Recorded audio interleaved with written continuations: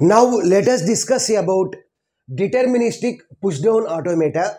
In short, we can call as DPDA. We can classify PDA into two types. First one is deterministic pushdown automata.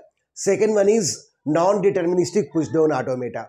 Already we have seen about non-deterministic pushdown automata. So in this class, our focus is on DPDA.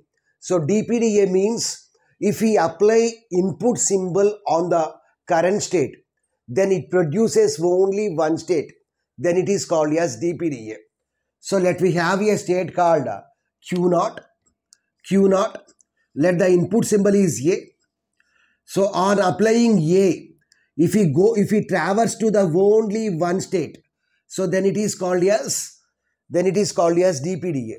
Here on applying A, we are staying at Q naught only. So this is called as deterministic pushdown automata. Let's take another example. So here on applying A on Q naught, we are moving to only one state that is Q1. So this is called as DPDA. Whereas non-deterministic pushdown automata means on applying an input symbol on the state, on the current state, if we can move to the two different states, then it is called as non-deterministic pushdown automata.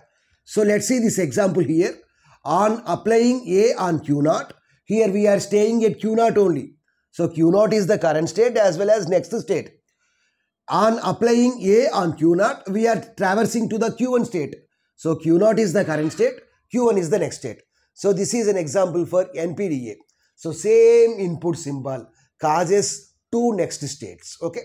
Uh, now let's see about uh, examples for the DPDA. Already we have seen these examples. The first example is L is equal to A power n, B power n such that n greater than or equal to 1. Second example, L is equal to A power n, B power 2n such that n is greater than or equal to 1. Third example, L is equal to W, C, W power R such that W belongs to A plus B whole star. Next, fourth example, L is equal to W such that number of NA of W is equal to NB of W where W is a combination of A plus B whole star. So these four are the famous examples for DPDA. So already we have seen the, uh, these examples. So I will share the links in the description. Uh, so if you have any doubts, then please refer those videos. Uh, so let us see the first one. L is equal to A power n, B power n such that n greater than or equal to 1. So here uh, n number of A's are followed by n number of B's. Okay. So let n is equal to 2a. Then 2a's are followed by 2b's. So here we need to explain one of the example. Uh, let us see about a power n, b power n. Uh, here the logic is very very simple. We have to push a's onto the stack and uh, if we read the b then pop a from the stack. Okay. So let we have 2a's, 2b's. So a will be pushed onto the stack. A will be first a, a will be pushed onto the stack. Next symbol is a so this A will also be pushed down to the stack. Next, if we read B, then we have to pop the stack. So this A will be popped. If we read B, then this A will be popped. So we have to pop A from the stack. Okay. Uh, let us design the PDA for the first example. Here the logic is very, very simple. Logic is very, very simple. Uh, uh, let the string is AABB and let the stack is empty. Okay. Uh, so currently we are at state Q naught. Q naught. If the input symbol is A, as well as stack is empty. If the input symbol is A as well as stack is empty, then we have to push A onto the stack. So if we read A and the stack is empty, then we have to push this A onto the stack. So next, if the, what is the next symbol? This A. If the input symbol is A as well as stack's topmost symbol is A, then we have to push this A onto the stack. So push this A onto the stack. So we will be at Q naught only. Okay. So next, if the input symbol is B, here what is the input symbol? B is the input symbol. And stack's topmost symbol is A, then simply we need to perform the pop operation. That is denoted by epsilon. Okay. So if we read the B, first B, then we have to move from Q0 to Q1 state.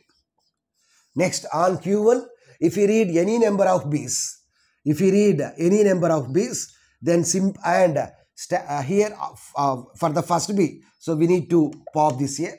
For if if the symbol is B and the stack topmost symbol is A, then simply we need to perform the pop operation. Here the symbol is B as well as stack topmost symbol is A. So simply we need to perform the pop operation. Okay. Next we know that epsilon denotes end of the string. If the string is ended, then it is denoted by epsilon. Okay. So if the input symbol is epsilon as well as uh, stack is empty, then don't change the stack. So uh, keep the content as it is and move the state from Q1 to Q2. So this Q2 is the final state. So you need to explain uh, minimum one example. Okay. Already we have seen these four examples. What is the second example? A power n, b power 2n such that n greater than or equal to 1. So n number of a's are followed by 2n number of b's. So next one wc w power r. Okay. So if the string is ab, then ab, this is center marker. What is the reverse of w? ba. So here odd palindrome string means this is dpda. Whereas uh, even palindrome. So that means w w power r means this is npda. So already we have seen this example. Okay. I will share the link in the description. So if you are unfamiliar, then please refer that link. Okay.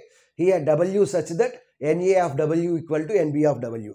That means number of A's in the uh, number of A's as well as number of B's in the string must be equal. So let the string is AABB. So number of A's are 2, number of B's are 2. So let the string is BABA. So number of A's are 2, number of B's are 2. Let the string is uh, AB, AB. So number of A's are 2, number of B's are 2. Likewise, okay. Uh, here, why this is called as DPDA? Why? Because here, on applying an input symbol, then we will move to only one state. So, on applying A on Q 0 we are staying at Q 0 only. On applying A on Q 0 here stack topmost symbol is Z 0 If the input symbol is A and stack topmost symbol is Z 0 then we will be at Q 0 state only. If the input symbol is A as well as here stack topmost symbol is Z 0 here whereas here the stack topmost symbol is A. If the input symbol is A and stack topmost symbol is A, these two are different here. Then we will be we will stay at Q 0 only. Okay. If the input symbol is B and stack topmost symbol is A, if uh, if if this is applied on Q 0 then we will move to only one state. If the input symbol is B, stack topmost symbol is A, then we will stay at Q1 only. So here if we apply the input symbol on the current state, then if we traverse to the only one next state, then it is called as DPDA. NPDA means on applying input symbol. If we traverse to the different states, then it is called as NPDA. Okay.